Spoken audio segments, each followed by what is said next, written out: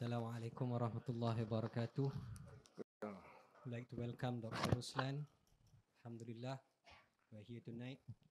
Uh, tonight is actually the exception. Usually, we would have the classes for nature of man and the psychology of the human soul. But tonight is an exception.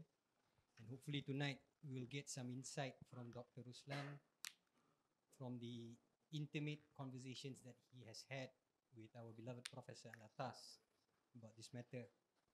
So hopefully tonight uh, it will benefit everyone. And I think uh, we can start inshallah doctor. So if you are ready. Okay. Thank you very much.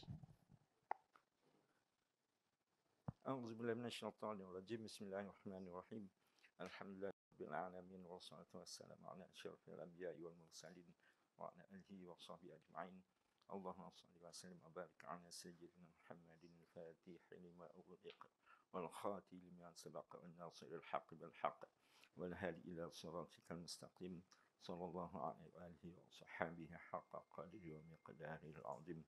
أما بعد ولا حول ولا قوة إلا بالله العلي العظيم. السلام عليكم ورحمة الله وبركاته. Uh, tonight, uh, I feel very happy because I'm going to talk about our great master, the Prophet Sallallahu Alaihi Wasallam.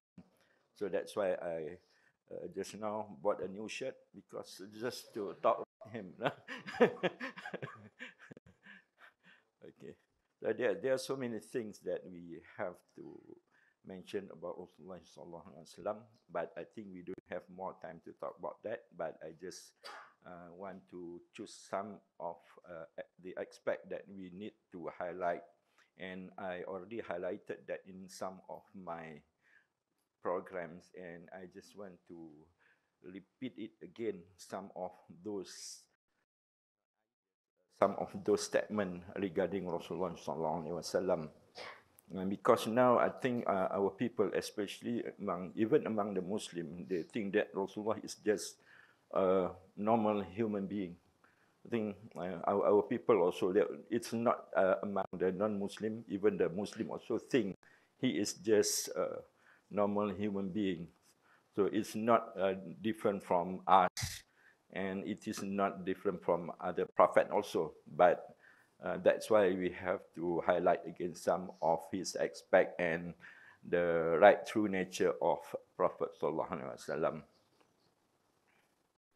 Uh, because when we see at the Prophet Wasallam and we look at his tradition, we will find out that uh, he, when he decided he decided what were truly God's decision and what God decreed to him. That that uh, is what was he, uh, uh, he did. he did not say something which is not from God. So that, that's why it is being in Al Quran. Allah Subhanahu wa Taala says, "Inna alladhina yubayyi'unka innama yubayyi'un Allah." that what Allah says. Surely those who pledge allegiance to you pledge also allegiance to me, Allah subhanahu wa ta'ala. So it is uh, almost like the same when it comes to the question about obedience.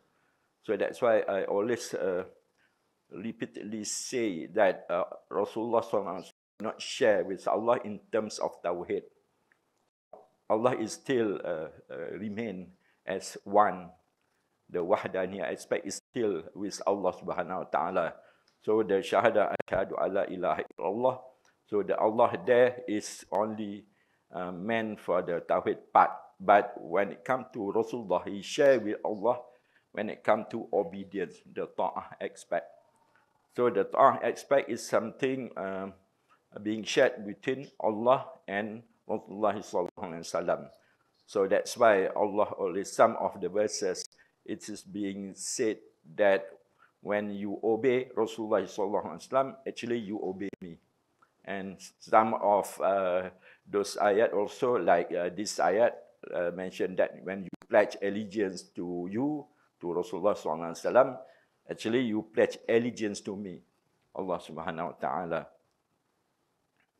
And this point also being emphasized in another verse in Surah, Surah, Surah An-Najm uh, 54, uh, 53, the verse uh, 4. And this uh, point is also being emphasized in this ayat. Uh, he, uh, Allah subhanahu wa ta'ala says that he, meaning that Nabi Muhammad sallallahu alaihi wasallam does not speak from his own selfish desires. Rather, his speech is nothing but inspired inspiration. Ma yantiqu anil hawa illa wahyu yuha, something like that, you know. So he, he does not speak from his own selfish desire. But this is something got to do with Al-Quran, relate significantly with wahyu. And other thing that Rasulullah did is not actually wahyu, but he is being influenced by the wahyu, by the Al-Quran. So don't, don't uh, mis misunderstood that by, by saying that anything Rasulullah did is about wahyu, it's about revelation. Revelation is only meant uh, for Al-Quran. But when it comes to his statement, uh, his, uh, what, uh, his act, so all of that is a manifestation of himself being influenced by the wahyu, by the Al-Quran. So that's why uh, we cannot just turn to the prophetic decision only at the level of apparent action, meaning that you have something like zon. Sometimes when it comes to like the influence of modern element, we start to become like zon, start to think again and start to become skeptical about some of his statement. So we don't, we cannot be in that uh, manner. When it comes to Rasulullah, we have to have a proper iman. We have to really believe about him. Okay, uh, it is not uh, the level uh, that I mentioned just now at the apparent level, meaning that we sometimes we feel discontent about what he said. And because of this modern influence, there are so many uh, things that keep on influencing us. Sometimes we start to become like asking ourselves whether what Rasulullah did or what Rasulullah said is true or not. So it's something like discontent. You start to feel that, meaning that you are not really certain about him. Okay, and uh, it is uh, it shows that you are not really certain about him before, not just now it shows that before you are not, not really believe about him. You are, because when you talk about belief, you have to, to accept him and to recognize him at the, at the level of ilmul yaqin, at least. Okay? Um, not uh, when we talk about yakin, there is no possibility that you will come again to uh, non-yakin or to doubt, uh, to, to zan. Okay? There is no possibility that you uh, going down again to that level when you think or you when you feel that you are already yakin, you will be yakin all the time. When you start to feel uh, like discontent or start to question about something regarding Rasulullah, meaning you are not really yakin before. Uh, that is the um, the right things that happen to you. So when we talk about the prophetic tradition, we all of us know this prophetic tradition is the very foundation of Islam, which has been firmly established for the last 14 centuries. Okay, for the last 14 centuries, uh, this is one of the major sources when it comes to knowledge. And it is the second after Al what happens if we ignore the prophetic tradition? If we ignore the prophetic tradition as a main source of knowledge, we will tend to reduce Islam to just a set of common general principle. And when we define Islam, we tend to define Islam through our own whim, uh, through our own imagination or through our own conception. And that what going to be happen if we ignore the prophetic tradition. And if we ignore the prophetic tradition also, it may entices us into a misguided way of thinking.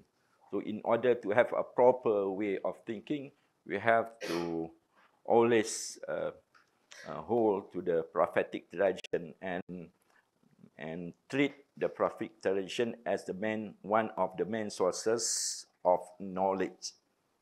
And then, uh, if we are not embrace the prophetic tradition as the source of knowledge, we can be easily influenced by, by the modern thought, which could bring disastrous effects over our mind and over our practice. That's what's going to happen if we forget or ignore the prophetic tradition, especially now when we see that most of the Muslims are simply being influenced by the Western doctrine or by the Western ideas. It shows that we are already started to neglect the prophetic tradition. Otherwise, we are not being easily influenced by the Western doctrines, Western secular doctrines. And if we neglect the prophetic tradition also, we, it will make us entirely devoid of one of the major sources of the essential knowledge because from the prophetic tradition, it can enable us to explain properly about Islam. We can't be able to explain properly about Islam if we start to neglect the prophetic tradition, the Sunnah. And it will lead us to a deeper interpretation of Al-Quran. If you want to really know about Al-Quran, the, the in-depth meaning of Al-Quran, you have to go through the prophetic tradition. And uh, the prophetic tradition also can make, can or can enlighten us about what is Islam, what is Iman, and what is Ihsan. And prophetic tradition uh, beside Al-Quran, it become the solid grounding in order for us to understand the major key concept in Islam. Okay, some of the major key concept in Islam can be explained through the prophetic tradition. And through the prophetic tradition also, we can really know our own history. And we can think based on a true right logic. Because we have to think everything logically, but it is not any kind of logic. That logic must be based on the prophetic tradition. Because prophetic tradition um, one of the elements that consists in the prophetic tradition is the philosophical principle of Islam. So that uh, philosophical principle of Islam uh, contain what what we uh, name by logic. So in philosophical philosophical principle of Islam, it teach us about true logic because it is very dangerous if you not knowing the right through logic. Because if you don't know about the right through logic, and if you neglect the prophetic tradition that lead you to understand about the main principle underpinning logical thinking, so we will start to evaluate everything based on our imagination. And we start to think that what is fiction is actually true. And that's what will to be happen if we start to neglect the prophetic, the prophetic tradition because in prophetic tradition, it can make us understand about one of the most important aspect, which is about the principle, the Islamic principle, philosophical principle that's what you're going to, to understand when we become close or familiar with the prophetic tradition. If not um, all to the prophetic tradition properly, we cannot know the philosophical principle of Islam, which is needed in order to for us to think something logically in the right way. And if we look at Rasulullah sallallahu alaihi wasallam, I think uh, in every kitab that mentioned about him from before uh, in the past until today, we come to know that he is the most perfect being, Al Insan Al Kamil, the perfect man, Al Insan Al Kamil. And we also know that he is singular in his nature. None other human being having the same nature with him, even among the prophet also, did not share the same nature with him. Is the is transcend uh, all of the prophets. He's more than uh, all of the prophets, meaning that he is singular in his nature. Even though he is among the Ulul Azmi, the five major prophets, but he is uh, the most highest one. And he, he ultimately, he cannot compare with other prophets. He's more than other prophets. That's why I mentioned here that he is singular in his nature. Uh, because why? Because he is the seal of the prophets. Khatamul Anbiya wal Mursalin. And the interesting thing is that his prophethood was already established when Adam was between water and clay. Meaning that Adam is still not fully formed. But Rasulullah is already prophet. That's very interesting about, about the Prophet Muhammad wasallam. Then we're going to explain that later. And when we see at Prophet wasallam, he is a manifestation of metaphysical unity and infused with metaphysical meaning. So, so that's why uh, every time when he mentioned about something, when he did something, it is not just relate with the physical realm. Everything ultimately relate with the metaphysical realm because he is a manifestation of metaphysical unity because he is the one who first appeared at the level of wahdah after ahadiyah there are there are levels of god's manifestation and the first manifestation of God happened at the level of Ahadiyah. And the, at the level of Ahadiyah, the first creation who appear at the level is Haqiqah Muhammadiyah. So that's why when he appear in this world, he is a manifestation of that metaphysical unity. Okay? He is a manifestation of that metaphysical uh, unity. But it is not just that manifestation, but uh, what infused in him is the metaphysical meaning. So don't think that what he said is just got to do with the secular matter or uh, just got to do with the physical realm. For example, we take the hadith, Hubul watan minal iman. Don't think that watan there is about this, this state, Malaysia, Singapore, Canada, or America. Don't think that that hadith is about that, you know. The watan is about your true self before you come here. That is your, your watan, the real watan, nafsun natiqah. So that's why hubbul watan, because man is kingdom in miniature. In us, uh, contain any reality we can find in this world and in that world, in the metaphysical world. So that's why it is a kingdom in miniature because it includes in it all of those realities, the realities of this physical world and the realities of the metaphysical world. So that's what it means by that hadith. But our politicians, when they use that hadith, they think the, the, the nationalism, the patriotism, you know. Not, that is not kind of that, that kind of thing. Okay? So uh, that's what I mean, that we see certain hadiths, we have to always see not in the context of this world, but also about something else, about the metaphysical aspect, the meta metaphysical realm, because in him infused, he himself infused with metaphysical meaning. And what about his ontological status? Is one of the realities. Yeah? He is like the Bashariah is so like us. The flesh and blood is also like us. So that's why uh, Rasulullah SAW said, Ana basharum mithlukum.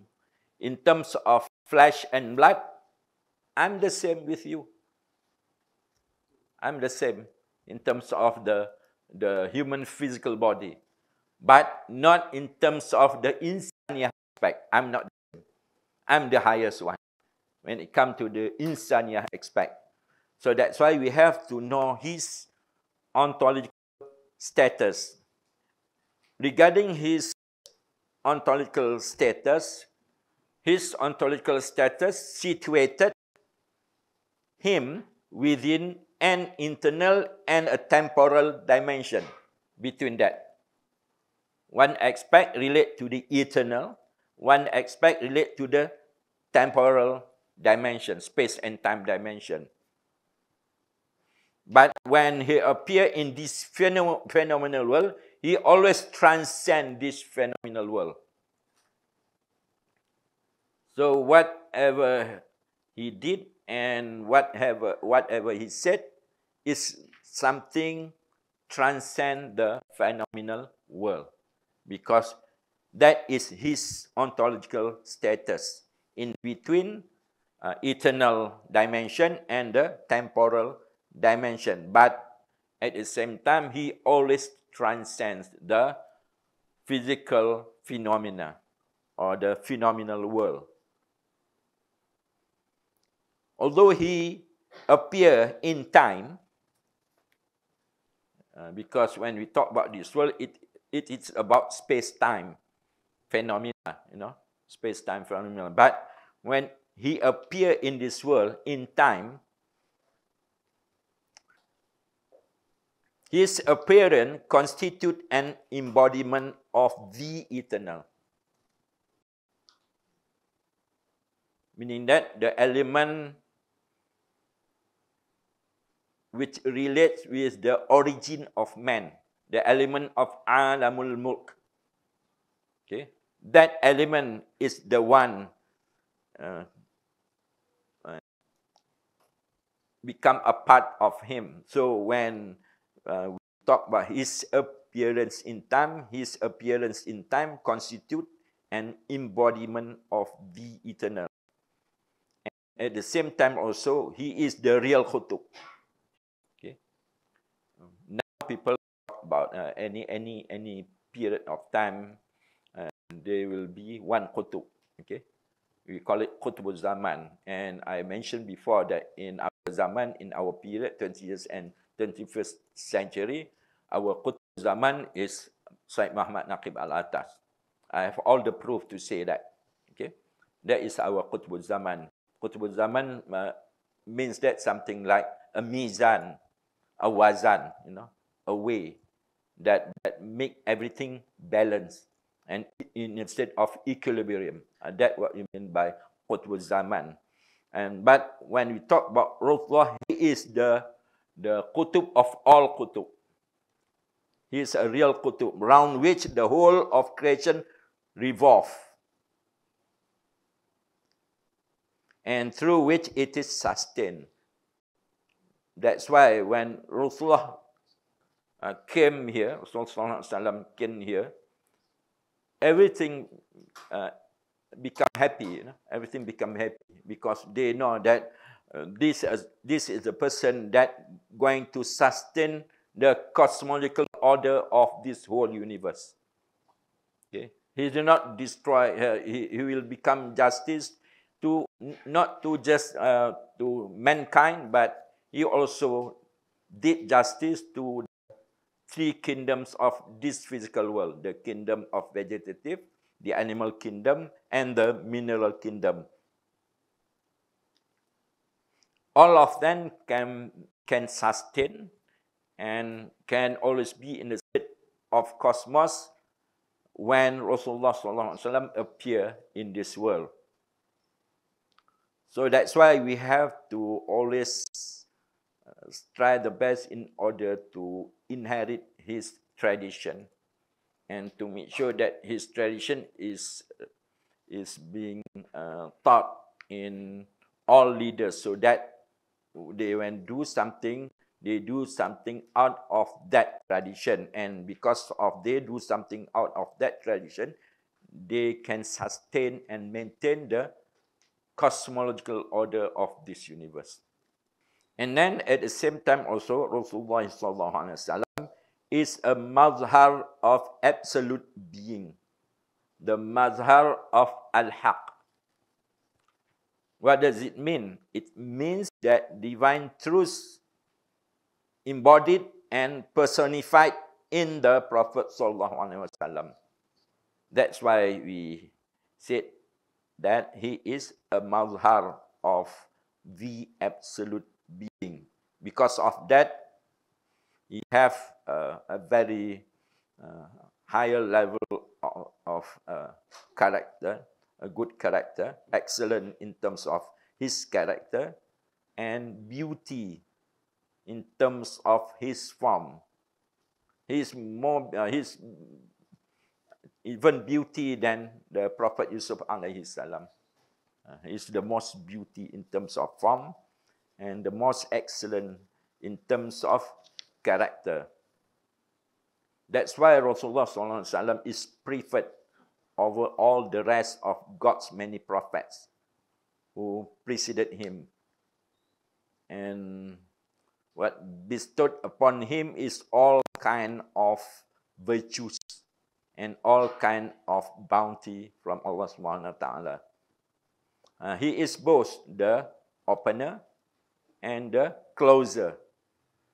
So uh, his function as both the opener and the closer, these are qualities that none of the prophet share with him.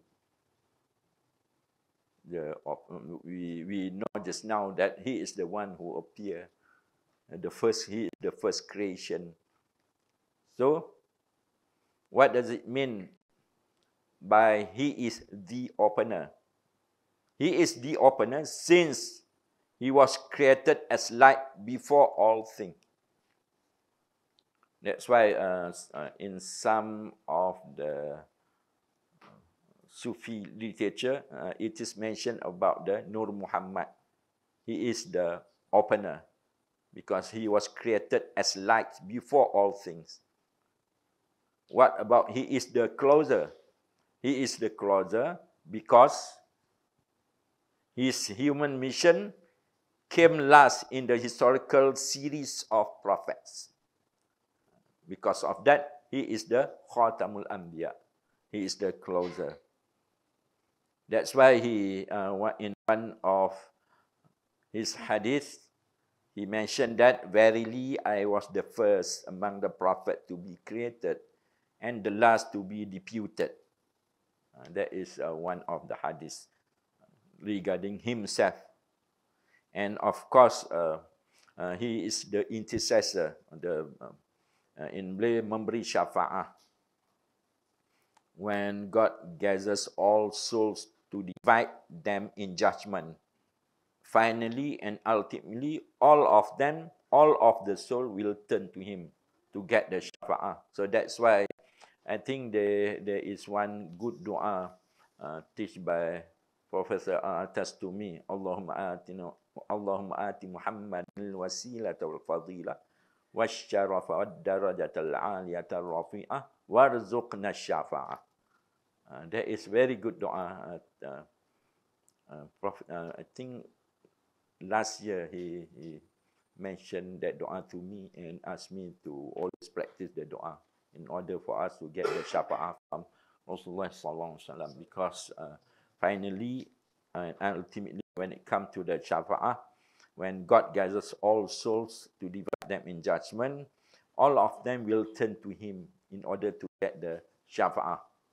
And another thing about Rasulullah is, is that he provides us with convincing and satisfying answers regarding uh, our life regarding the most important question about our life, especially, uh, for example, what is your purpose?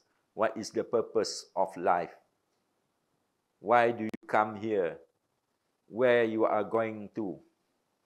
What is your final destination? Uh, these are all kind of answers that could only be answered by Rasulullah sallallahu. And he spreads a light of truth. Without this light of truth, the universe, the universe will always be in a state of darkness. And beings become alien to each other and always hostile to each other. So that's why we what we can see now happen among human beings. Why uh, we become hostile now to one another, even among the Muslim. We, we become hostile to one another. And one Muslim with another Muslim become something like an alien to us, you know. Because it shows that you are far from the light of Prophet. You are far from that light. We are far from him.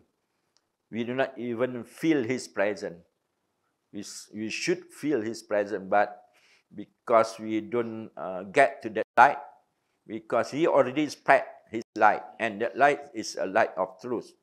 Because just now we mentioned that without that light, uh, our life always become in a state of darkness, and we become like uh, one to another, become like an enemy.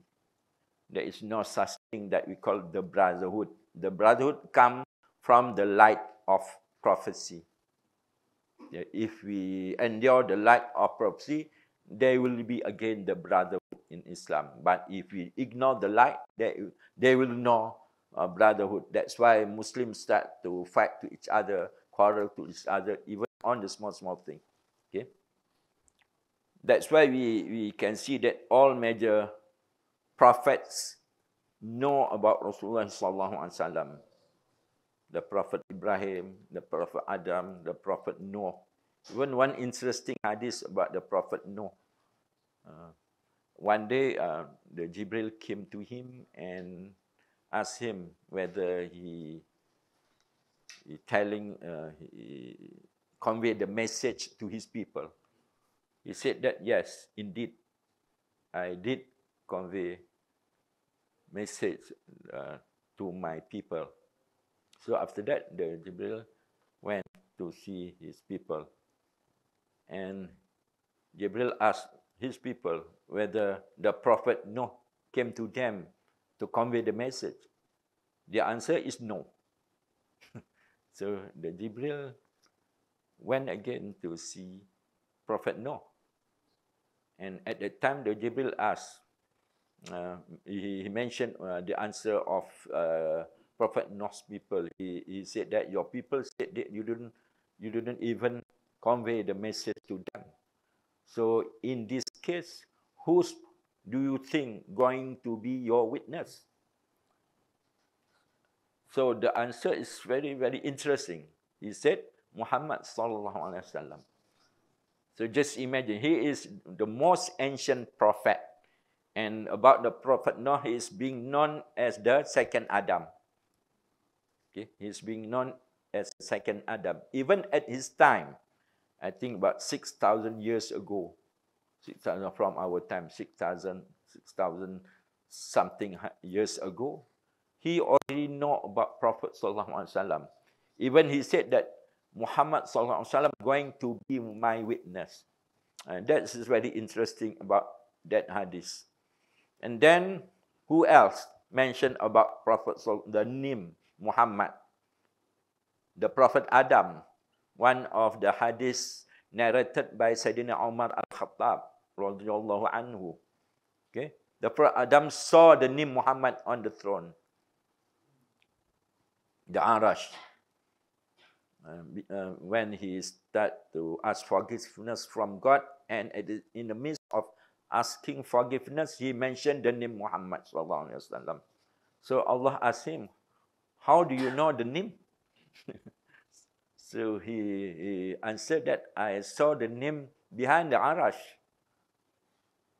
Yeah, that's very interesting.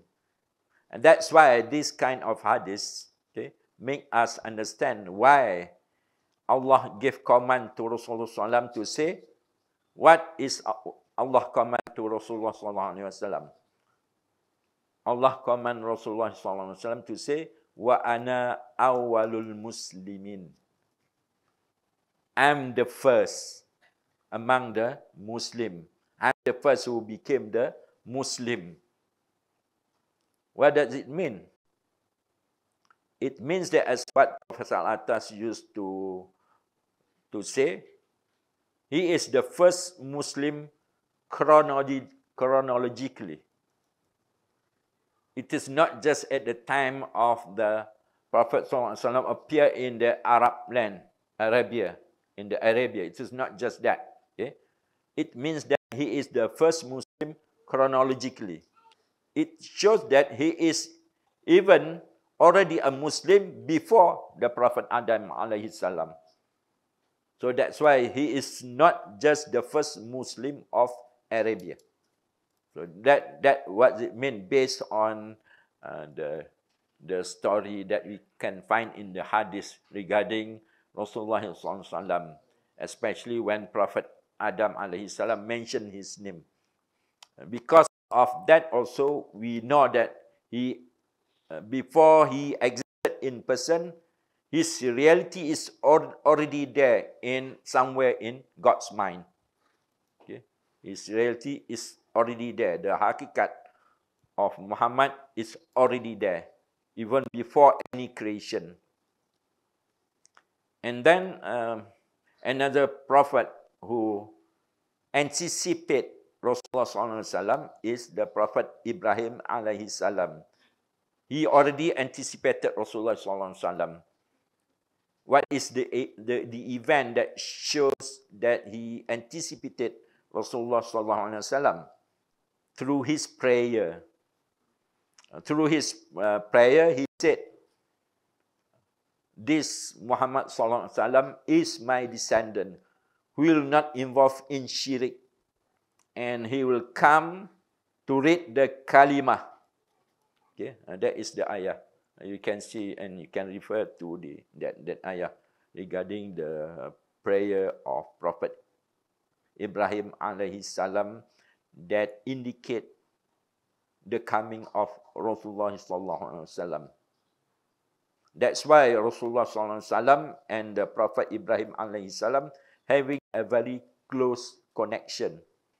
And in this case also, um, uh, in in uh, one of the hadiths you can find in the collection of Al Bukhari, the hadith that we mentioned just now. I was a prophet when Adam was between water and clay. So that's why I think what you can think about that hadith when Rasulullah said, "I was a prophet." when Adam was between water and clay. It shows that it is wrong to think that he just become the prophet at the age of 46. He's already the prophet. so sometimes we say that he just become the, the prophet at the age of 46. So what is the right way to mention that? the right way to mention about that is that he declared his prophethood in the body at the age of 40. And not 46, at the age of 40. So we cannot say that he became the prophet at the age of 40. He already the prophet before he came in this world. Okay? So what we should say is that he declared now he declared his prophethood. Before he was already the prophet. Now at the age of 40, he start to declare his prophethood. When he arrived at the age of 40. Okay. So that's why um, sometimes we are wrong in this kind of thing because we not really know what had happened when it come to Rasulullah about his nature of prophecy. And just now I mentioned that Rasulullah SAW having a very close connection with the Prophet Ibrahim alaihi salam. Although uh, the difference is about 4,000 years from uh, Prophet Ibrahim uh, up to the time of Prophet Muhammad sallallahu alaihi wasallam. Uh, so, what indicate that close relation, the doa iftitah? Doa iftitah started by Prophet Ibrahim alaihi salam, the first part, according to the uh, to uh, Prophet Salatan. The, the first part started by Prophet Ibrahim alaihi salam, and the rest completed by Rasulullah sallallahu alaihi wasallam. So you have to to to look again at uh, uh, Professor Alsta's uh, recent book about the Mithaq, about the first and the second part of the Dua Iftitah, which part that being completed by Rasulullah and which part which is started by the Prophet Ibrahim alayhi salam. So we know that Rasulullah is the universal prophet. That's why he is the rahmatun lil alamin because he is the universal the universal prophet. And he is the only prophet authorized to establish law or to formulate law.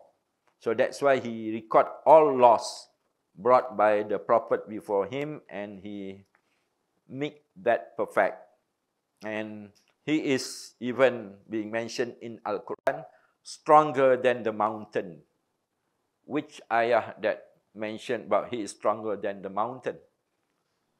The ayah that we can find in the first part of the Ratib al-Atas. لو أنزلنا هذا القرآن على جبل لرأيته خاشعا متصدعا من خشية الله. If the Al-Quran being sent to the mountain, the mountain will be split asunder. But when it comes to Rasulullah being revealed to Rasulullah, it is nothing. Okay? It's not like the mountain.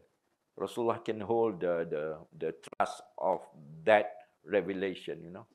I think the, the mountain can hold the trust. They, they know that they doesn't have the ability and the faculty in order to, to hold the trust, you know. So that's why they, if Allah said, if this Al-Quran being revealed to the mountain, it will be split asunder.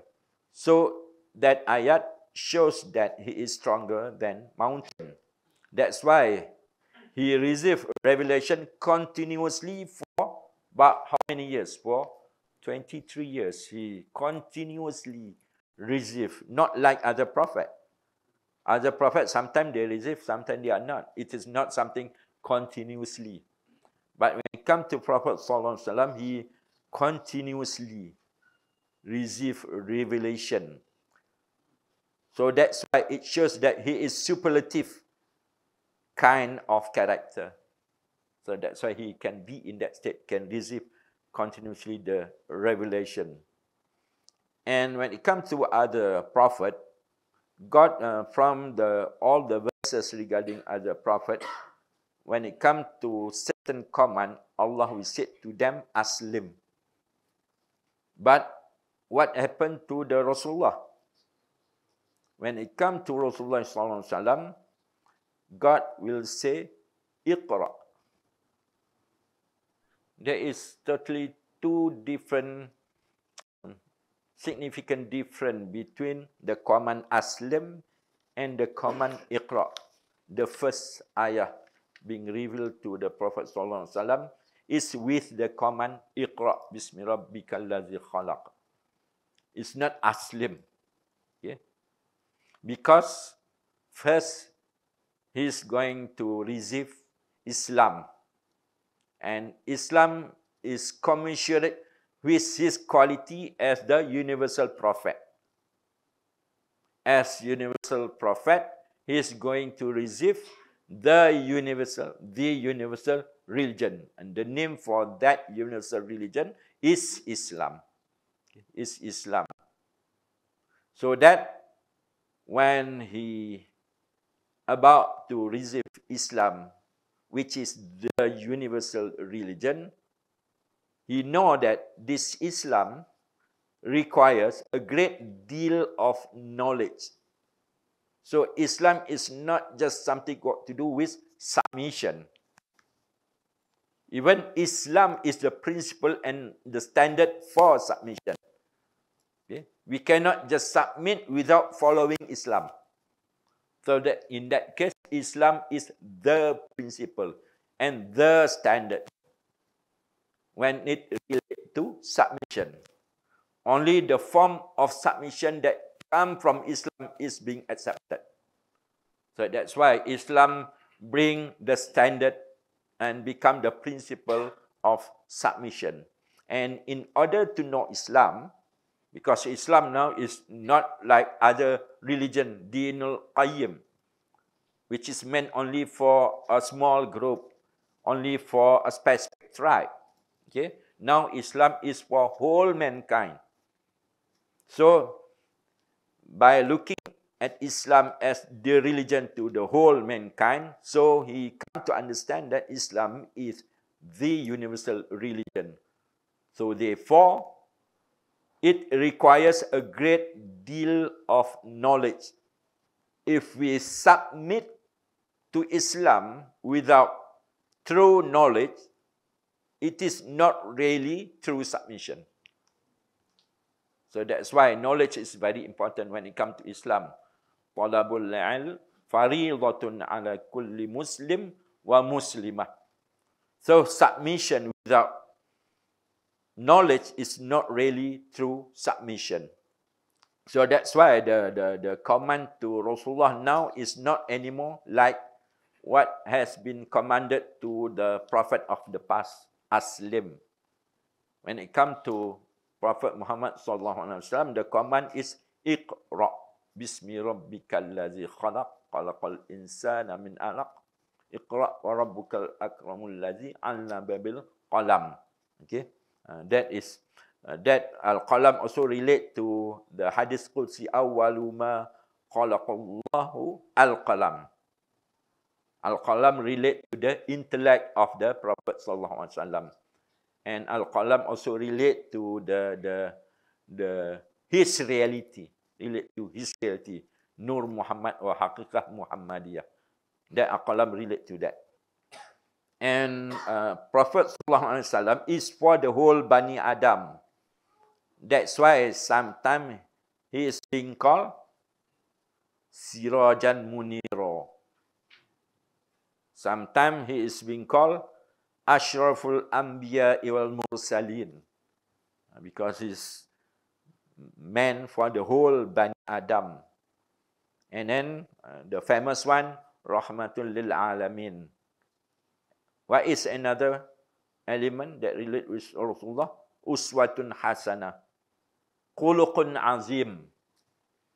And that is uh, what we know about Rasulullah SAW when we know that he is meant for the whole Bani Adam.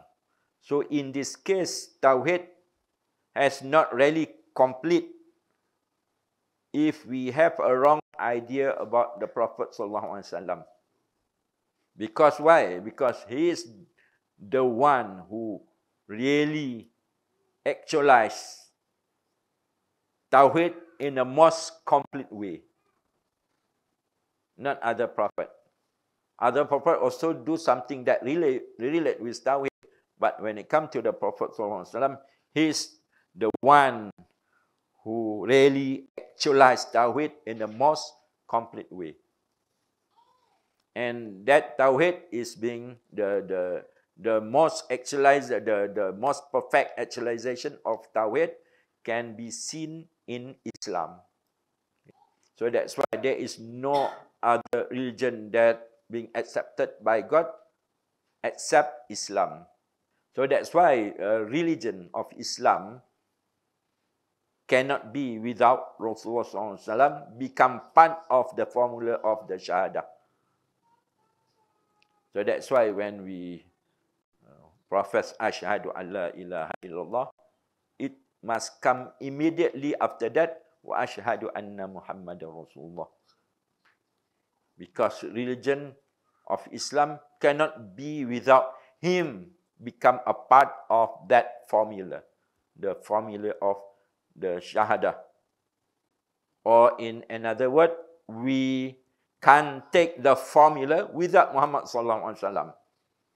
The formula is not really a formula. without Muhammad sallallahu alaihi wasallam in it. Even without him, we can reflect that formula.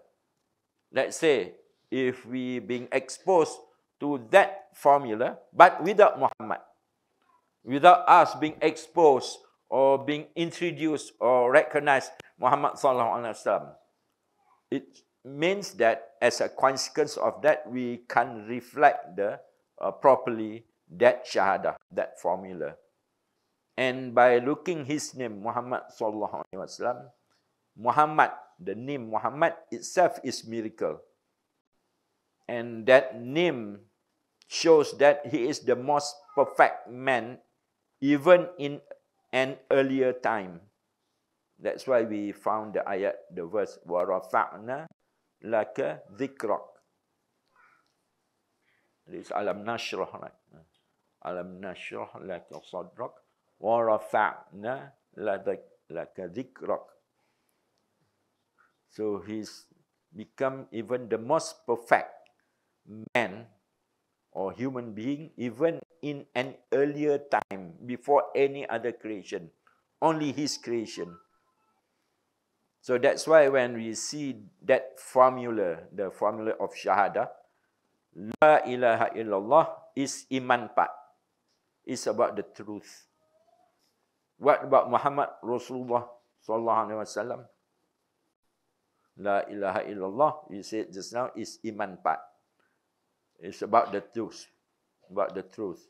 Muhammad Rasulullah, Muhammad Rasulullah is Islam part. What does it imply when we say that it is Islam part?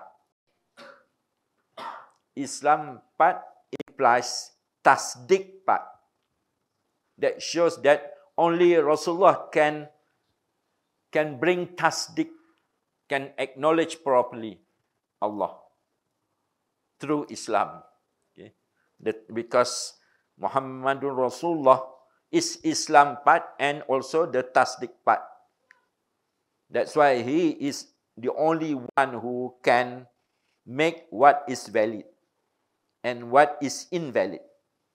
And he is the only one that can make us know what ought to do and what not to do. So only Rasulullah SAW. That's, that, that's why the formula must be perfect. La ilaha illallah Muhammadur Rasulullah. Because just now we, we know that he's the most perfect man. And because of, of that he is the most perfect man, he is the only one that due to this kind of religion, Islam, Al-Islam. Because Al-Islam is the universal religion for mankind. So that's why it need to be brought by the perfect man. And the perfect man is also at the same time the universal man. Okay? And because of that, he is being raised before another being been raised. And just now we also mentioned that he is already Muslim from before at the level of Hakikah Muhammadiyah, at the level of uh, in Sufi, we uh, mentioned just now at the level of Wahdah after the Ahadiyah. And even the essence of all prophethood was always present in that first creation. That's why all the prophets know about the coming of Rasulullah because their essence is always in that hakikat. Present in that hakikat, always present in that first creation, hakikah Muhammadiyah. So that's why you cannot just say anything about Rasulullah without knowledge. Because Allah warned us. Sanaktubu ma qalu. I will take note what you say about Rasulullah. Allah will take note everything about what you said about Rasulullah sallallahu alaihi wasallam. So you have to be very careful not to become insolent. Because now we we are insolent because we are so preoccupied with social change and at the same time we neglect the teaching of Rasulullah. We accuse him for of so many kind of things.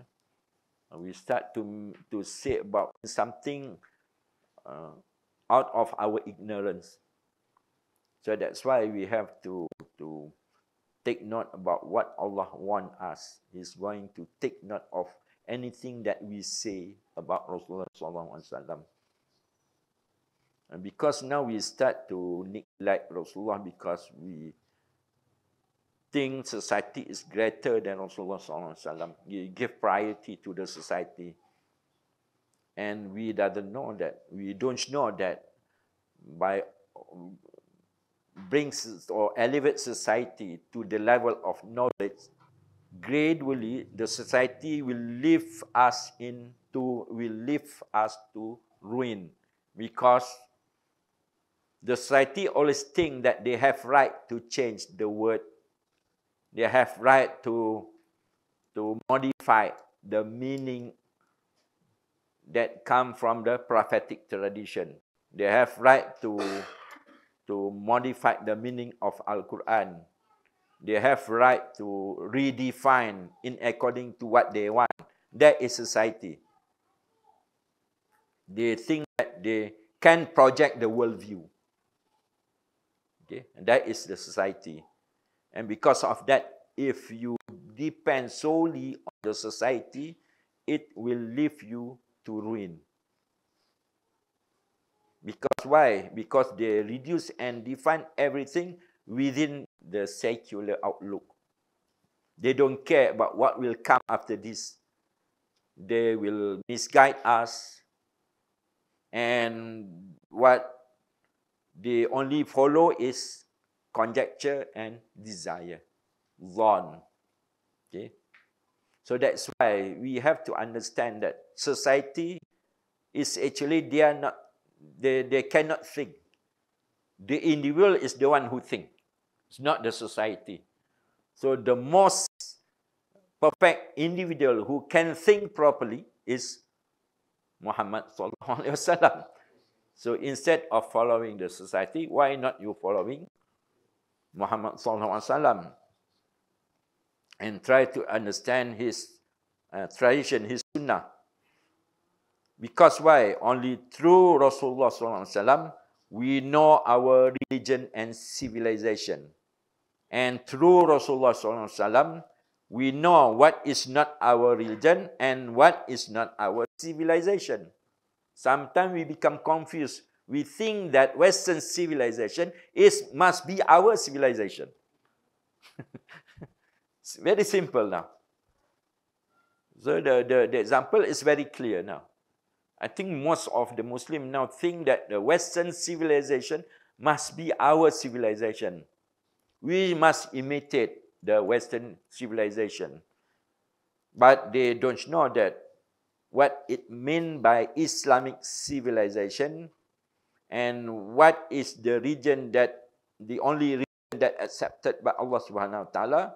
The uh, the only thing that we can we can know about that is through Rasulullah sallallahu alaihi wasallam. And by following Rasulullah sallallahu alaihi wasallam we do not become a slave of natural sciences. Because now we become a slave to the physical and natural sciences Uh, because because we, when we start to neglect Rasulullah, we become become a slave of that. We become a slave of secular civilization and the secular worldview. And as uh, something more about Rasulullah first uh, premise is that his spirit is before Adam alaihi salam. Uh, that is the first premise spirit is before Adam. And what conclusion that we uh, can make from that premise? What do you think the conclusion that we can make based on that premise? His spirit is before Adam. It means that he is not really a descendant of Adam. that is the conclusion. Yeah, that is the proposition. What is the proof? The proof is what being reported by Ibn Abbas radhiyallahu anhu in Nihayatul Arab fi Funun al-Adab. One of the report by Ibn Abbas, he said, uh, he reported about the saying of Prophet Sallallahu Alaihi Wasallam. Rasulullah Sallallahu Alaihi Wasallam say, I'm the first cast in Adam. Although Rasulullah Wasallam is been created, the spirit also been created, but the spirit is the first creation. The spirit is the first creation. So that's why he is not really a descendant of Adam. Okay. We are the descendant of Adam, Bani Adam. But when it comes to Prophet Sallallahu Alaihi Wasallam, it's not really so. Because he is the he is the first. He is the first creation. And the, the, the idea, the Hakikah Muhammadiyah, is the idea about the Prophet is already there in God's mind before Adam alaihi salam. The idea is already there, the idea of the Prophet sallallahu alaihi wasallam.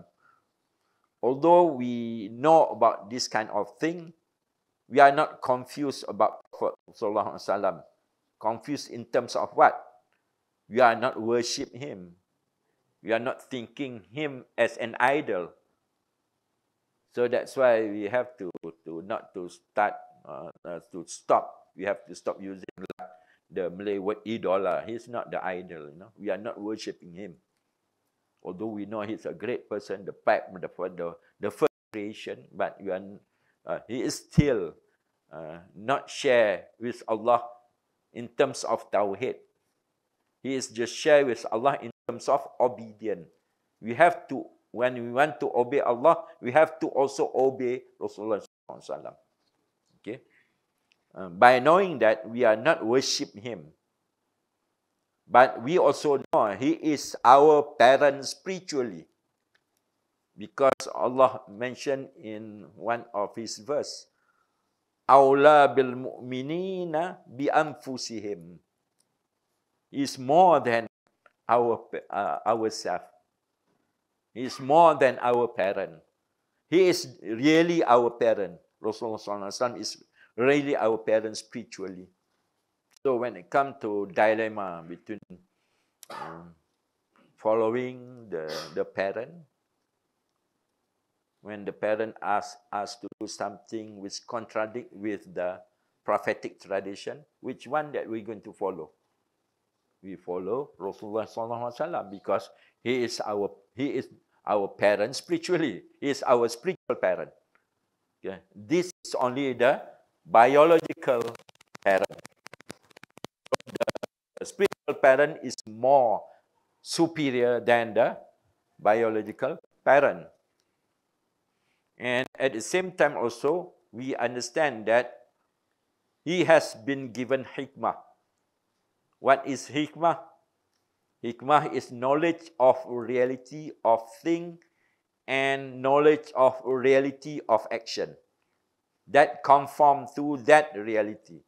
Okay, that what has been given by Allah Subhanahu wa Taala to the Prophet Sallallahu Alaihi Wasallam. Knowledge of reality of things and action that conform to that reality both. It is not knowledge about reality, but knowledge about the action, which action. That's why Rasulullah always pray, Allahumma arinil asya'a kama hiya. Not just about to show the reality of thing, but also to show the, the right action that conform to that reality. Because sometimes we recognize, we recognize the reality of things, but we act not in according to that reality. That it also shows that we are still in the, uh, uh, in the state of ignorance. Okay? It shows that we just recognize, but we don't know how to acknowledge that. But when it comes to Rasulullah, he has been given both the knowledge of reality of thing and the knowledge of actions that conform to that reality. And only Rasulullah is the one who put hikmah into practice. And the silsilah of Rasulullah is what? The silsilah Rasulullah is Hanif. So there is no question about the mother, the father, whether going to the hell or not. Because the silsilah of the Prophet is Hanif. That is his silsilah. Okay. And for 23 years, amazingly, Rasulullah used new Quranic Arabic language without doing any mistake. Always use it rightly and properly for 23 years after revelation and, and until the completion of his mission, until the Hajjatul Wida. No? He used the Arabic Quranic language without doing any mistake. Okay, what happened to us? you always make a mistake when it comes to the using of the Quranic Arabic language, but not Rasulullah Sallallahu Alaihi Wasallam. And in order to return, we must follow the example of Rasulullah Sallallahu Alaihi Wasallam, uh, because his psychology is influenced by Al Quran, not his psychology influenced Al Quran. His psychology is the one who influenced by Al Quran. So that's why when we talk about ar-raj'i, because ad-din is about ar-raj', about returning, to return back to the real true self. That is ad-din, which being called al-Islam. So al-Islam, the essential element of al-Islam is to make ourselves return to real true self. How to do that? How to return? So the answer is very easy in order to return, we have to follow the example of Rasulullah sallallahu alaihi wasallam.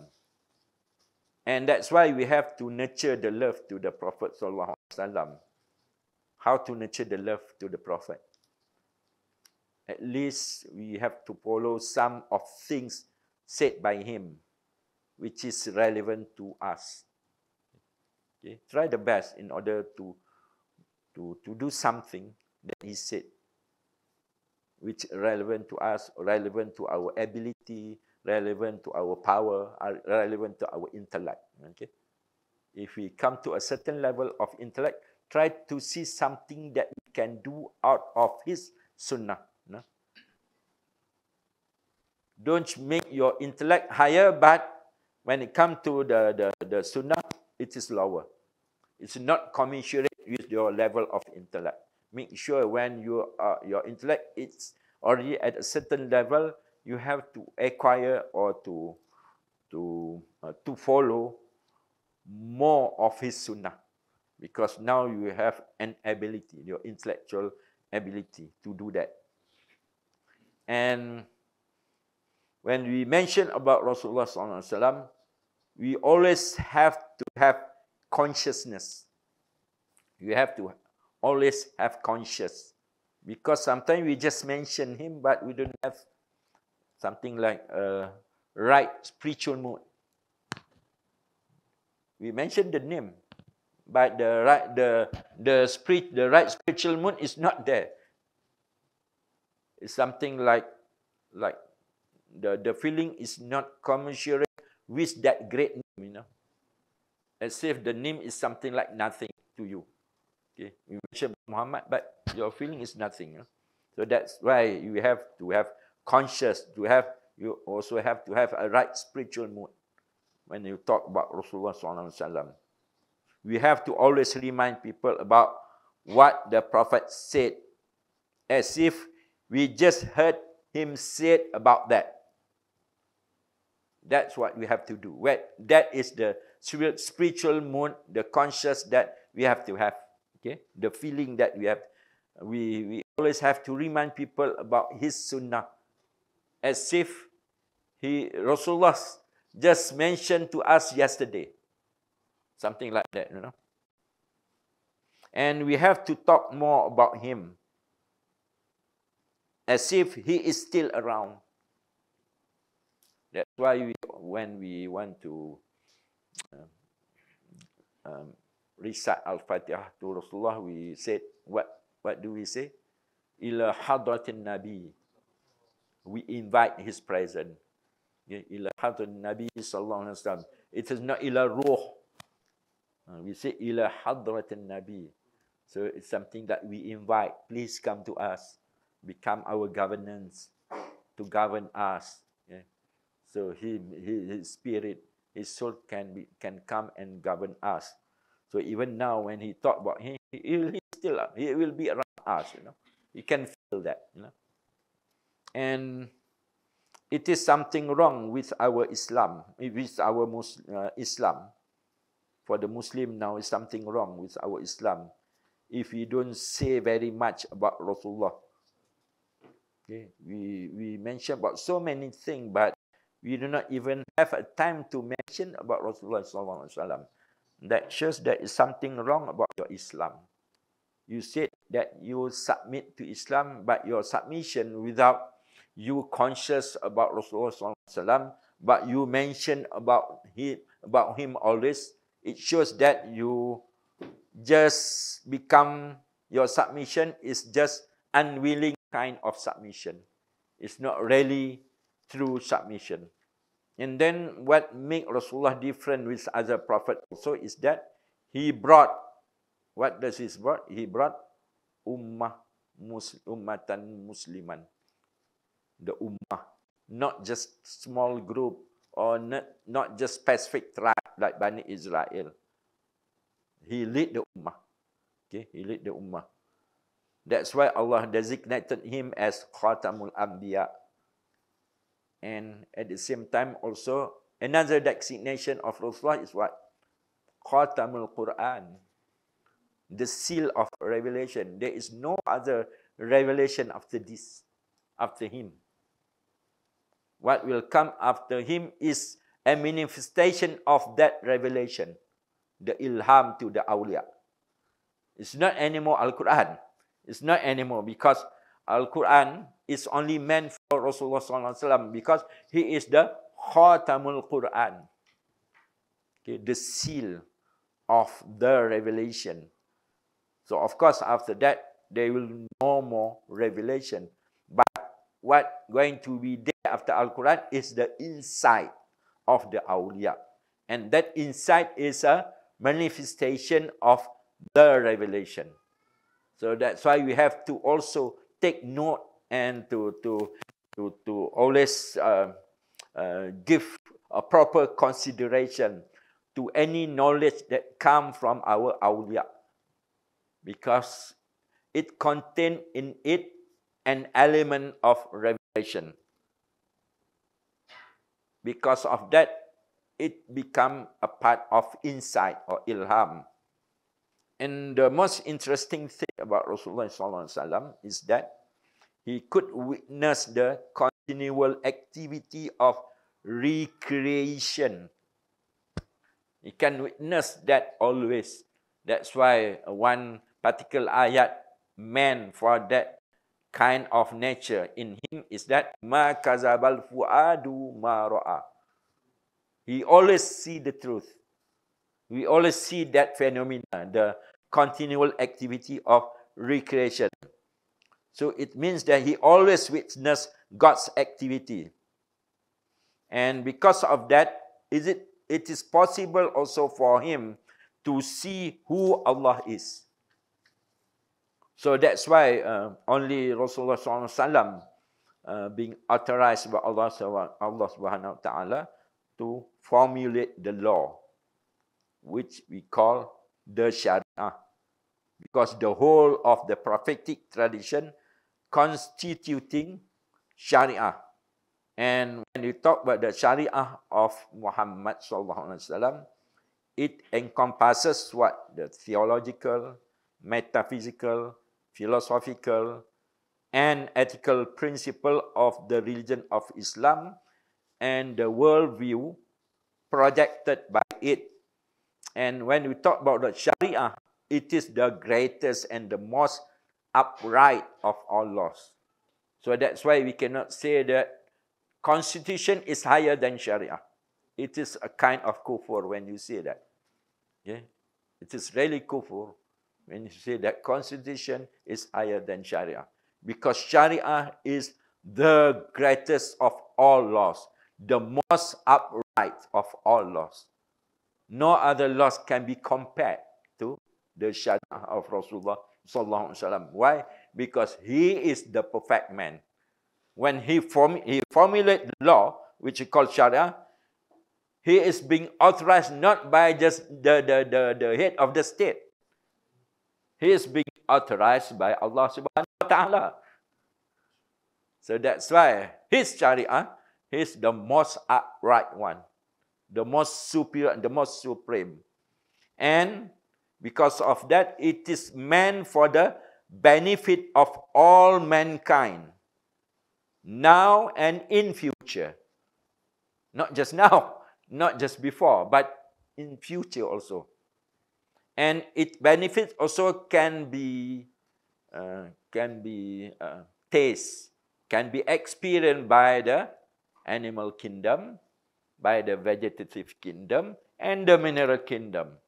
That's why it's important to to uphold the Sharia.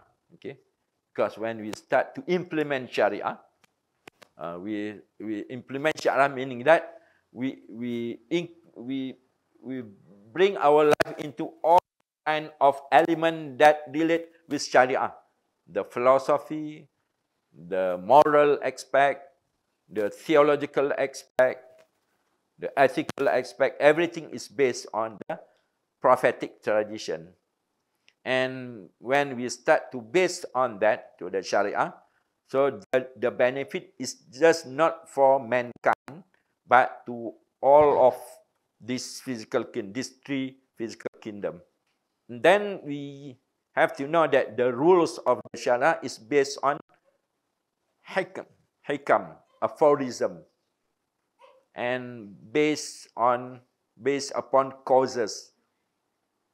And that causes and that hikam entail the universal goodness and benefit both society and individual. And that and at the same time also the rule of the Sharia intended for the absolute ultimate end. And this absolute and ultimate end is something that can make you, make ourselves pure and getting the full measure of God's blessing, in the ni'mah. If we, so that's why we have to examine thoroughly the prophet words, the prophet acts, the prophet disposition which constitute the Sharia. Okay, that is the the the aspect that constitute the Sharia. His word, his acts, and his disposition. Because we why we have to examine that thoroughly because they provide us with certain specific contact that show different kind of intent. Not not uh, not uh, uh, every of his act are the same. Okay? Every every of his act shows different context and shows different intent. This is manifestation of his main attribute, the tabligh. Okay? The, the Rasulullah has four main attribute: siddiq, amanah, tabligh, and fatana. And when you talk about uh, the Sharia, which include his word, his act, and his disposition, which provide us with certain specific context and different, con uh, different intent. This is a manifestation of his attribute of tabligh. What is this tabligh? Tabligh is none other than to convey and to propagate of what was revealed to him in wider, in a wider spectrum and at all levels of human intellect. And that is the Sharia. The Sharia not only meant for the people of the highest intellect, at all levels of intellect and in a wider spectrum. So that's why uh, every uh, of his act having a specific context. You cannot use the context to, to mean another context. It's not the same. Okay? And it also shows a different intent. And all of this contact reflect his role as the Khatamul Anbiya. Okay, Khatamul Anbiya. And his role as the Ashraful Anbiya wal Mursalin. Because of this role, Khatamul Anbiya and the Ashraful Anbiya wal Mursalin. So he is at once the supreme imam, the most judicious judge, qadi, the most learned jurist, mufti, the leader of all leaders, the judge of all judges, the foremost scholars, foremost scholars of all scholars.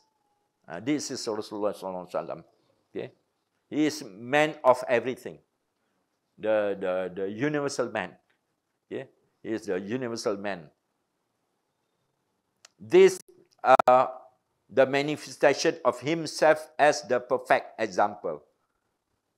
His capacity as tabligh and his role as the conveyor of ar-risala. Because of that uh, three aspect, himself as the perfect example, his capacity as tabligh, and his role as the conveyor of ar-risala. So he can play his dynamic role. At the same time, he's not just the prophet, he's also the imam, he also the, the judge, he also the mufti, he also the leader, something like that, you know. Everything. So what does it mean? It means that when we want to start doing something which is so essential and significant, we cannot act without thinking of him. Now, when we do so many things, we always forget about Him. So, as a Muslim, anything, even when we, especially when we involve in education, in politics, in economy, Rasulullah did not escape any kind of that thing. No? Anything of that thing is not escape him. He involved in all those essential elements that relate with human life. So when we want to do something which is so significant in human life, we cannot do without always thinking about him. Because his capacity is so meaningful. And his various meaningful capacities shows his nature as kulli. He is kulli in his nature. And because of that, it gives different significance in all contexts of his action, his statement, his disposition. Any of that will give a different significance. And that's what we mean by the Sharia. Everything that he said, everything that he did, become binding to us as the general rule. Hukmun am in Arabic become the general rule to us. It is binding to us actually. It's not, not just binding now, but binding until when? Until the end of the world. until the end of the world. Because why? Because all of that general rule, hukmun am, influenced by the wahy, by the revelation. So that's why therefore we should abide by his command, Okay? Uh, and it is duty bound to avoid anything that he prohibited. However, I think I, I need to take uh, more time to finish uh, our discussion about Rasulullah. However, we, we should understand that his dynamic qualities and capacities and the context of his command and his statement relate not just with his position as legislator, but relate with so other uh, with so many things. Okay, uh, because uh, when we see Rasulullah, he is not just legislator. He is not just in that position, not just in makam tashri'. He is more than that. Some action of Rasulullah are part of his natural disposition, khilqah, which are not part of legislation and instruction.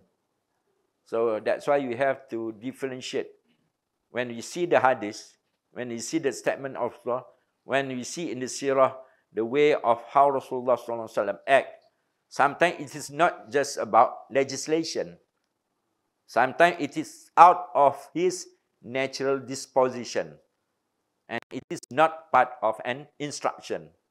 So that's why some of his conduct cannot become a ground for analogical reasoning for qiyas. That's, that's why we have to really know the un underlying causes of his action and his statement.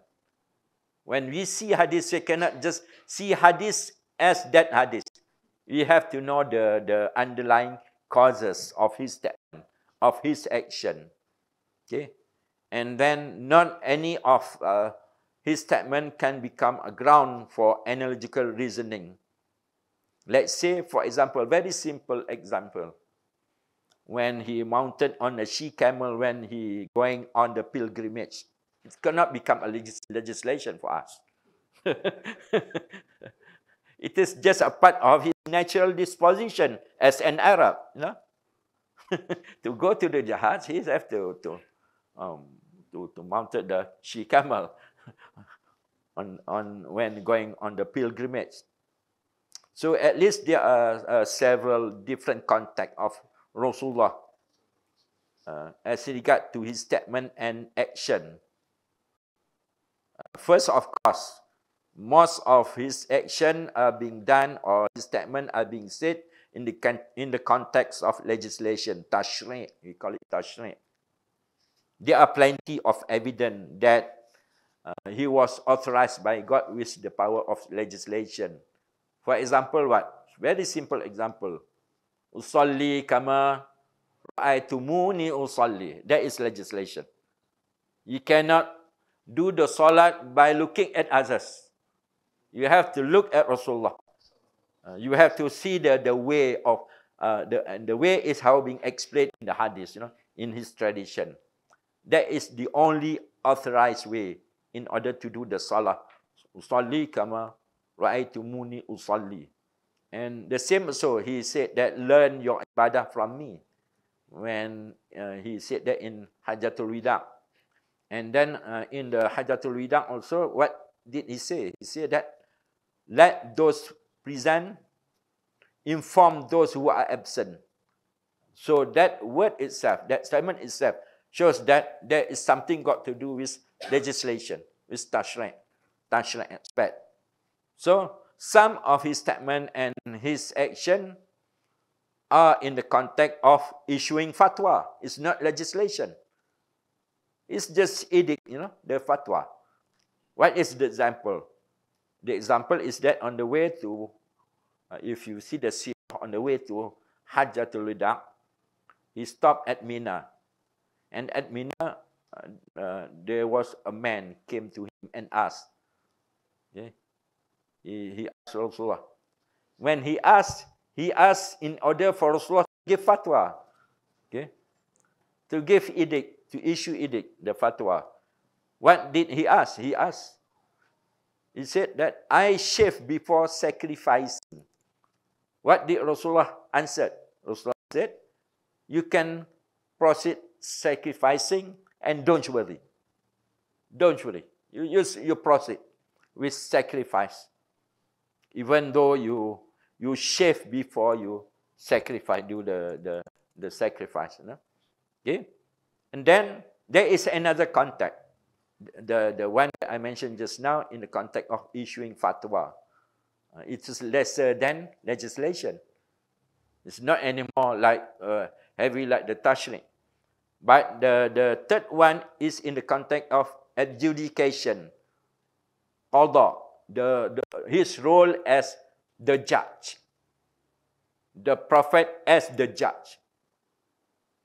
So that's why uh, we can see some of the statement of adversary like judge between us. So they would like Rasulullah to, to judge, to, to uh, that is in the context of adjudication. You know? And Rasulullah also sometimes said, I will certainly judge between you. Okay? According to what God has revealed in his book. And when we see this fatwa and qada, this fatwa and qada, both involve a relationship between general legislative rule, hukum tashri' and the applied rule, hukum tatbi'i. If somebody learn uh, the usul fiqh, they can know this. Okay, uh, the the relationship between the general legislative rule and the applied rule, the juz'i, the particular, and the uh, general one. And what come after that combination? After that relationship, the hukum tashri', the general uh, legislative rule and the applied rule. What come after it is a particular part of the original Sharia rule. Because the original Sharia rule is so dynamic, you know, so wide in its spectrum. So it always apply uh, applicable in a very juicy element or juicy part, you know.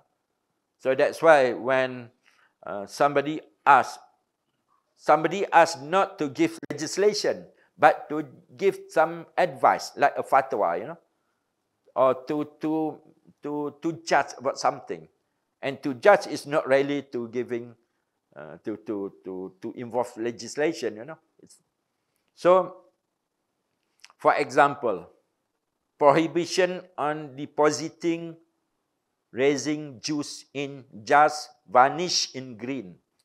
Uh, this is a case that happened at the time of Rasulullah.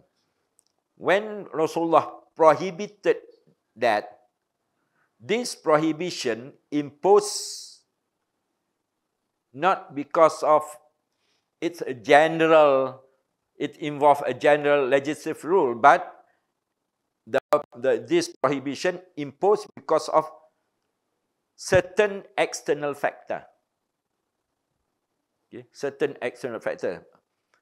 So the a ban is not about putting, raising juice in a varnish container. It is not about that. the ban is not about that. No. So there is some external factor that involved in that. So uh, this is one of the case that uh, that involve himself as the one who giving the fatwa or to judge about something. So sometimes he uh, his statement and his act is are in the context of himself as political leaders in the context of imara the political leadership of the state so that's why some of that instances cannot be confused as proscriptive legislation, which entails an absolute prohibition. Because sometimes it is just uh, case by case thing, you know, based on a particular case or uh, something got to do with the leadership of the state. So it is not meant for proscriptive legislation. Because when you talk about prescriptive legislation, it involves or it entails an absolute prohibition. So sometimes uh, when Rasulullah prohibited something, it is not something absolute. Okay?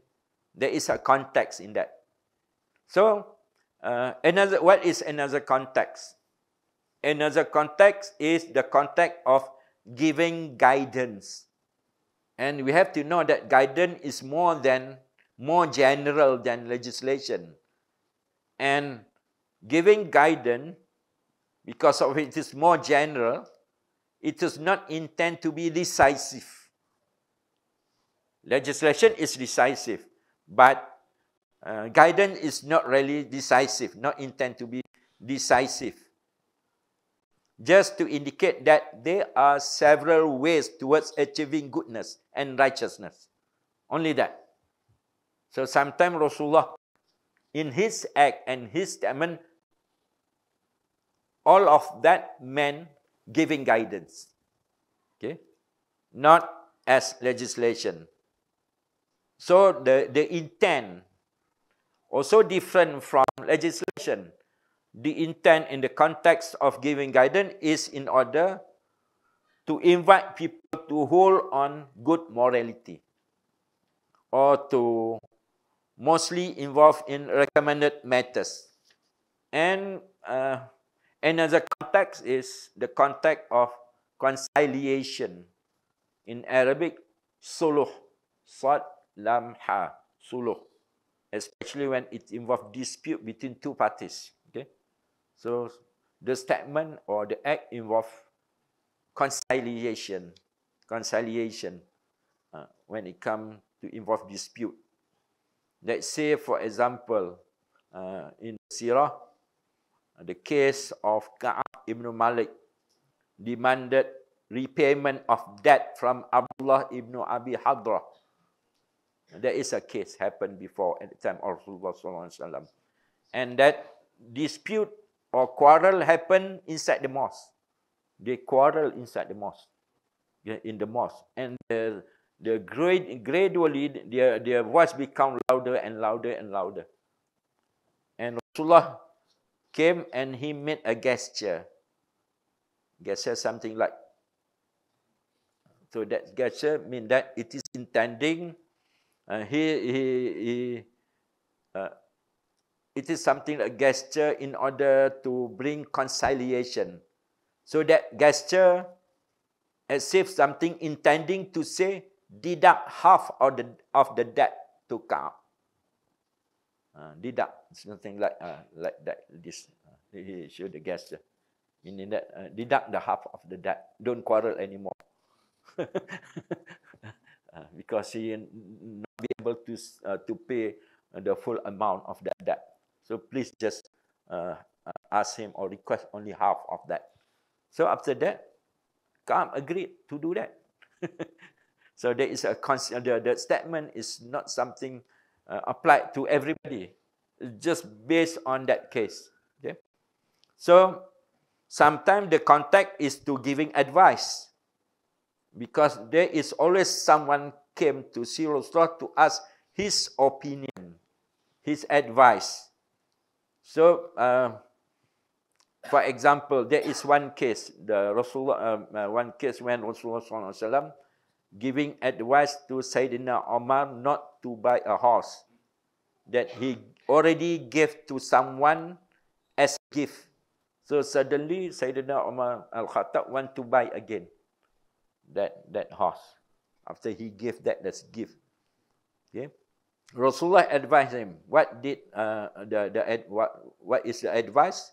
He advised Sayyidina Umar not to buy even that person want to sell it for one dirham. Rasulullah advised him not to buy. Even he offered only one dirham for, for Sayyidina Umar to get back the horse. Okay? Because why?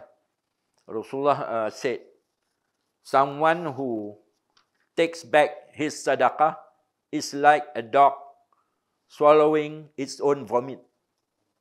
uh, that's what Rasulullah said something like giving advice. You know?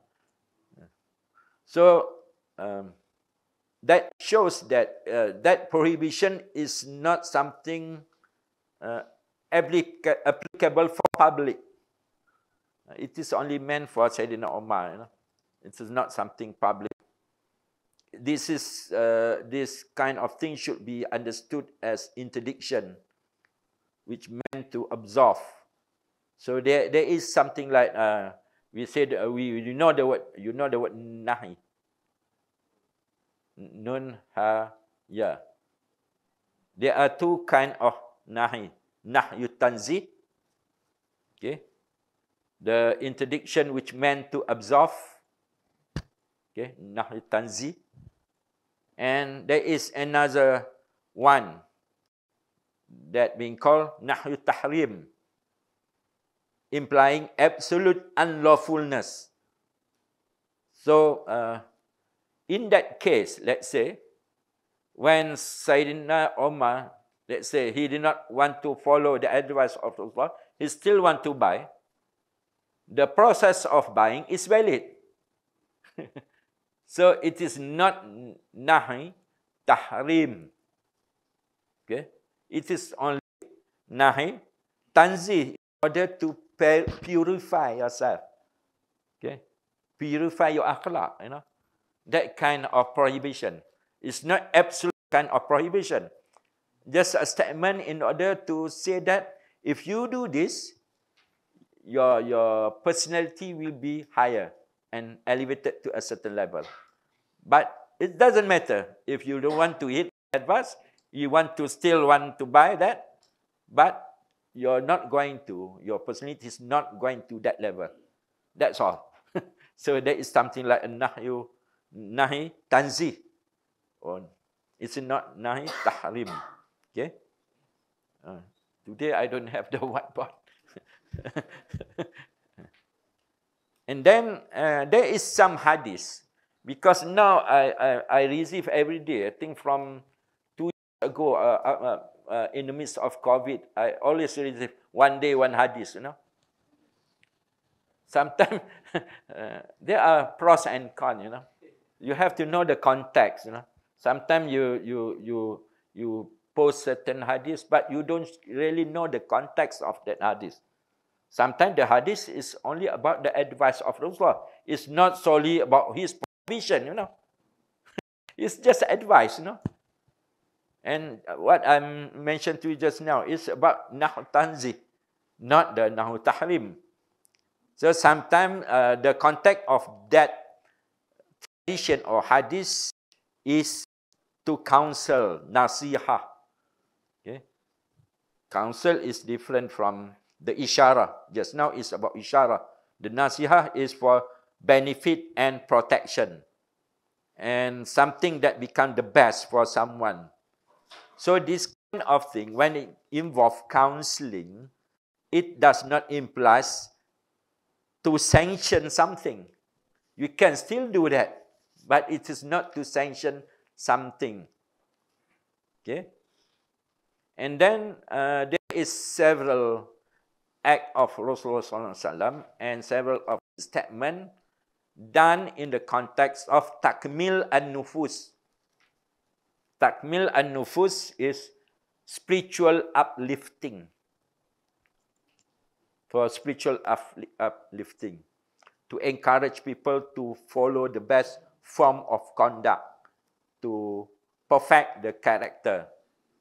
So this kind of thing involves different uh, commanded and prohibited practices of varying degrees, some known as obligatory, some known as forbidden, some are not obligatory, like praying for the person who sneezes, so it is not obligatory, or some are not categorically forbidden, example, clothes with silky extension. Uh, this is not categorically forbidden.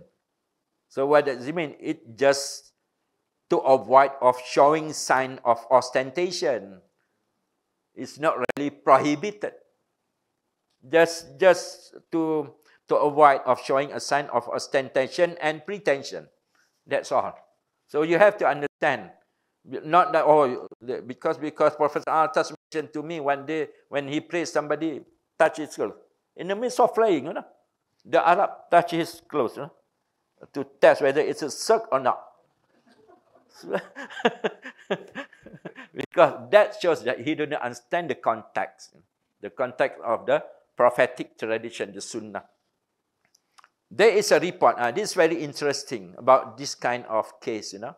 There is a report by Abu Dawud, uh, another five minutes. Abu Dawud uh, uh, from Sayyidina Ali. Abu Dawud narrated that from Sayyidina Ali radhiyallahu anhu. Uh, he, he narrated that Rasulullah sallallahu alaihi wasallam, Sayyidina Ali said, Rasulullah sallallahu alaihi wasallam forbade me to use gold rings. Uh, this is something now very sensitive. Eh? Gold rings. To wear silk clothes, clothes dyed with saffron, and to recite the Quran while I'm in the ruku and sujud. Okay. But interesting things mentioned by Sayyidina Ali after that. I'm not saying he forbade you this thing. It is only meant for me. it, mean, it means that, what does it mean? It means that not forbidden to entire Muslim, but only to Sayyidina Ali. Uh, because at that time, uh, Rasulullah want to, to all the Sahaba to have a very strong sentiment of brotherhood. not to wear something that others doesn't can uh, cannot afford to wear that. So they will something like uh, you, you spoil the, the the sentiment of that brotherhood, and by doing that you show compassion. You know, we, we say the same thing, not to, not to to wear something more than you, you know? to eat something that you also eat. You know? Not when you have uh, money to buy something, but you don't buy the food that others cannot afford to buy that. So this kind of things very good for the school children. If you as a parent, you can afford to, to buy, to, to give more money to your children to buy a good food, but just give just sufficient and something that equivalent to others also to train them, to, to show compassion to others. Okay, uh, this is the way, the, the, the, the, the, at the first period, how Rasulullah deal with sahabat to create a sentiment of brotherhood. So that's why Sina Ali mentioned that he, he prohibited us not to, to wear gold ring. We can actually wear silk, you know. I always, before I'm, I'm, I'm, I'm the former PTD officer, uh, you never fail to wear tie. tie is of PTD's weapon, you know. if you are, however ignorant you are, if you are wearing tie, you're still something like you are a knowledgeable person, learned, you know. so it's something like a weapon. But when you start, you start to speak, uh, people will know who you are actually. so, so that's uh, uh, the the most I think beautiful tie is a tie made with silk, you know. I have uh, several of that. Yeah, for me it's nothing, because we know the context. It is not haram, absolute haram. You know, just that if you feel something, if it's something that can bring to to a kind of pretension, you stop wearing that. You know, you know how where and when. You know, you you have trained yourself. You know, so but it is not something that should become a sanction publicly. You cannot do that. you cannot do that. Then uh, there is another context, the context of teaching lofty truths. And this is also pertain to his closest companion. Okay? Let's say, for example, one example, Rasulullah SAW said to Abu Zar that he did not wish to have the like of Uhud in gold to spend, except for three pieces of gold. That what Rasulullah said to Abu Zar. But you know lah Abu Zar, you know, you know Abu Zar. He take that seriously, you know. Abu, because Abu Zar thought that it was a general command applying to entire Muslim. So that's why you know Abu Zar start to to criticize uh, Muawiyah. Uh, he said that it's not it's not your your father's property. Don't spend something like this, you know. Uh, he start to criticize everybody because he misunderstood what Rasulullah said. Okay? And he always warned against accumulation of wealth. However, after that, Sayyidina Osman came and he rejected Abu Zar's understanding. He said, you, you are wrong. it's not what Rasulullah meant. And it is not meant uh, by him prohibiting us to acquire wealth. No. so it is only meant for him in the context of attain, attaining a lofty personality, you know, lofty personality, a good akhlaq, you know.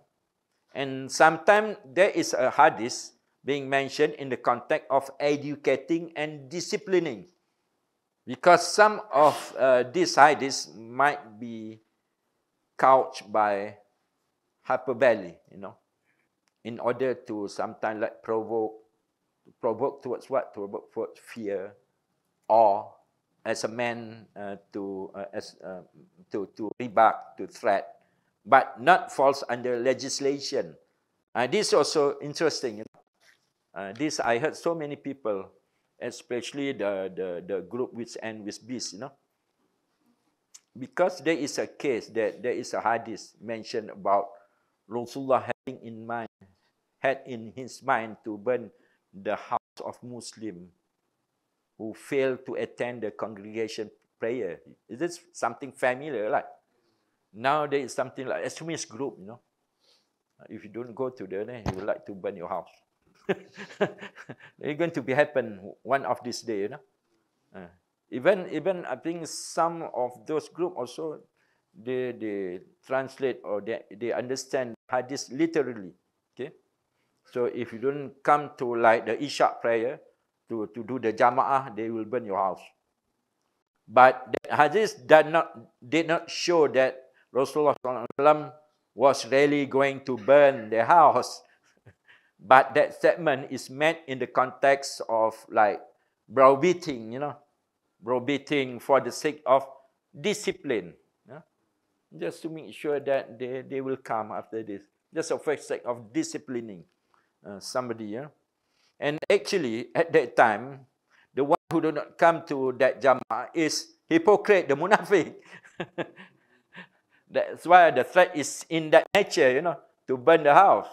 Now the one who don't come to the congregation prayers is like us, you know. Sometimes we just uh, come home very late from work, you know. So it's we want to rest for a while. So we don't go to the mosque. so if we don't go to the mosque because we are tired, want to rest for a while, don't come to our house and burn.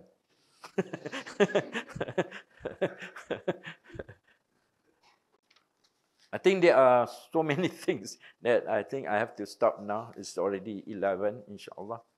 Uh, things that that is already enough about, uh, it's already sufficient and enough about Rasulullah sallallahu alaihi wasallam. And if you want to know more, this, this something that I think uh, not being mentioned regularly by others when they mention about Rasulullah sallallahu alaihi wasallam. So the the one uh, that I got is something that uh, I got from uh, my our teacher Syed Muhammad Naquib Al-Attas and some of these things that I mentioned in this class also I showed to him before in the midst of his writing in his new book the the the Mithaq at the time he thinking about what to say about Rasulullah, I provide some information regarding Rasul to him and he approved that. So the thing that I, I mentioned tonight is something that I already shown showed to him and it is being approved. Okay, inshallah. So may Allah inspire us, inspire, inspire our hearts with the love of Rasulullah sallallahu alaihi wasallam above anything else we love.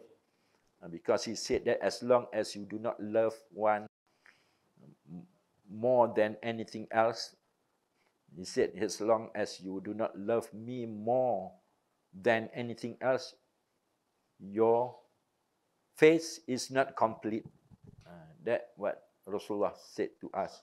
So in order for us to have a complete face, so we have to love him, insyaAllah. So Allahumma arina al-haqqa haqqa wa rizuqna tiba'ah wa arina al-batila al-batila wa rizuqna tinabah. Allahumma inna nas'aka min khairi ma sa'alaka minhu abduka wa rasuluka Muhammadun sallallahu alaihi wasallam ونعوذ بك من شر ما استعاذك منه عبدك ورسولك محمد صلى الله عليه وسلم اللهم وما قضيت لنا من أمر فاجعل عاقبته رشدا اللهم آت محمدا الوسيلة والفضيلة والشرف والدرجة العالية الرفيعة وارزقنا الشفاعة وصلى الله على سيدنا محمد وعلى آله وصحبه وسلم سبحان ربك العزة عما يصفون وسلام على المرسلين والحمد لله رب العالمين.